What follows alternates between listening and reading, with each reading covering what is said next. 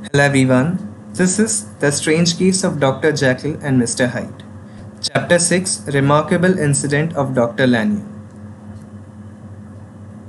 Time ran on, thousands of pounds were offered in reward, for the death of Sir Danvers was resented as a public injury.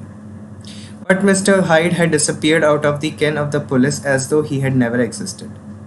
Much of his past was unearthed indeed, and all disreputable tales came out of the man's cruelty, at once so callous and violent, of his wild life, of his strange associates, of the hatred that seemed to have surrounded his career.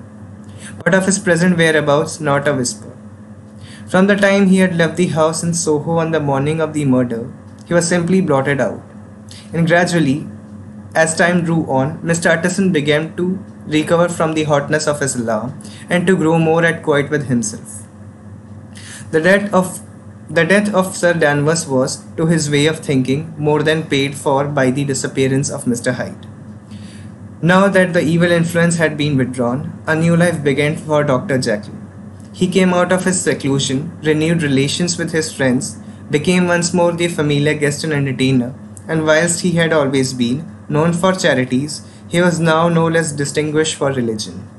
He was busy, he was much in the open air, he did good, his face seemed to open and brighten, as if with an inward consciousness of service, and for more than two months the doctor was at peace. On the 8th, on the 8th of January, Utterson had dined at the doctor's with a small party. Lanyon had been there, and the face of the host had looked from one to the other as in the old days when the trio were inseparable friends. On the 12th, and again on the 14th, the door was shut against the lawyer. The doctor was confined to the house, Poole said, and saw no one.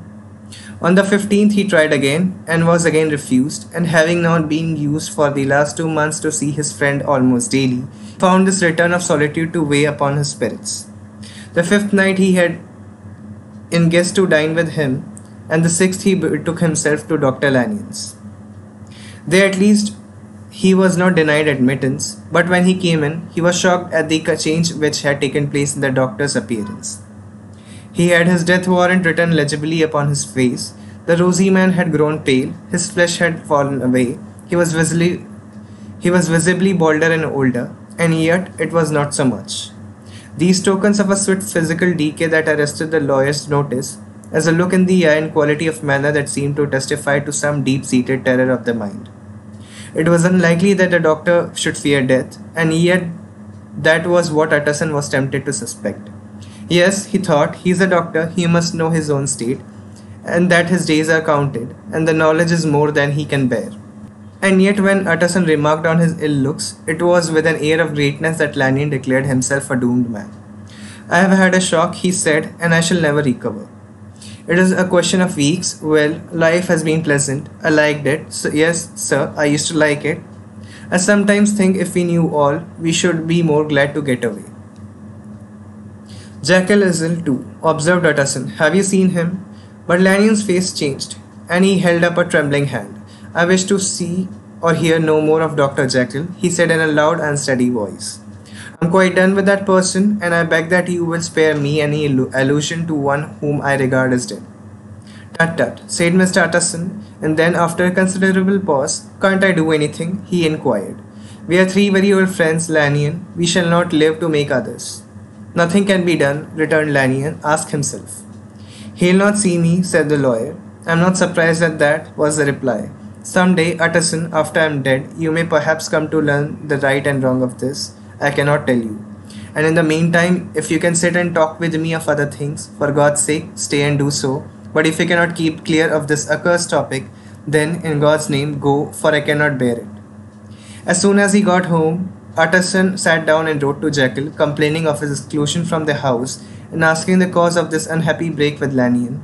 And the next day brought him a long answer, often very pathetically worded and sometimes darkly, mysteriously mysterious in drift. The quarrel with Lanyon was incurable. I do not blame our old friend Jekyll. Cold Jekyll wrote, but I share his view that we must never meet. I mean, from henceforth to lead a life of extreme seclusion, you must not be surprised, nor must you doubt my friendship if you, if my door is often shut even to you. You must suffer me to go my own dark way. I have brought on myself a punishment and a danger that I cannot name. If I am the chief of sinners, I am the chief of sufferers too. I could not think that this earth contained a place for sufferings and terrors so unmanning. And you can do but one thing, Utterson, to lighten his, this destiny, and that is to respect my silence. Utterson was amazed. The dark influence of Hyde had been withdrawn. The doctor had returned to his old tasks and amenities.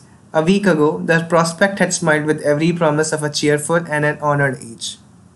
And now, in a moment, friendship and peace of mind and the whole tenor of his life were wrecked.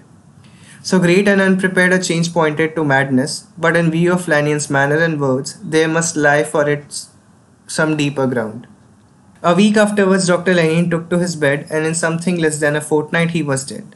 The night after the funeral, at which he had been sadly affected, Utterson locked the door of his business room, sitting there by the light of a melancholy candle, drew out and set before him an envelope addressed by the hand and sealed with the seal of his dead friend private for the hands of G. J. Utterson alone and in case of his predeceased to be destroyed unread. So it was emphatically subscribed, and the lawyer dreaded to behold the contents. I've buried one friend today, he thought. What if this should cost me another? And then and then he condemned the fear as a disloyalty and broke the seal. Within there was another enclosure, likewise sealed and marked upon the cover as not to be opened till the death or disappearance of Dr. Henry Jekyll. Utterson could not trust his eyes. Yes, it was disappearance here again, as in the mad will which he had long ago restored to its author. Here again were the idea of a disappearance and the name of Henry Jekyll bracketed. But in the will, that idea had sprung from the sinister suggestion of the man Hyde. It was set there with this purpose all too plain and horrible. Written by the hand of Lanyon, what should it mean? A great curiosity came on the trustee to disregard the prohibition and dive at once to the bottom of these mysteries. But professional honor and faith to his dead friend were stringent obligations, and the packet slept in the inmost corner of his private safe. It is one thing to mortify curiosity, another to conquer it, and it may be doubted if, from the day forth, Utterson desired the society of his surviving friend with the same eagerness. He thought of him kindly, but his thoughts were, were disquieted and fearful. He went to call indeed, but he was perhaps relieved but to be denied admittance. Perhaps in the perhaps in his heart he preferred to speak with Poole upon the doorstep and surrounded by the air and sounds of an open city, rather than to be admitted into the into that house of voluntary bondage, and to sit and speak with its inscrutable recluse. Poole had indeed no very pleasant news to communicate. The doctor, it appeared, now more than ever confined himself to the cabinet over the laboratory, where he would sometimes even sleep. He was out of spirits, he had grown very silent, he did not read. It seemed as if he had something on his mind. Utterson became so used to the unvarying character of these reports that he fell off little by little in the frequency of his visits.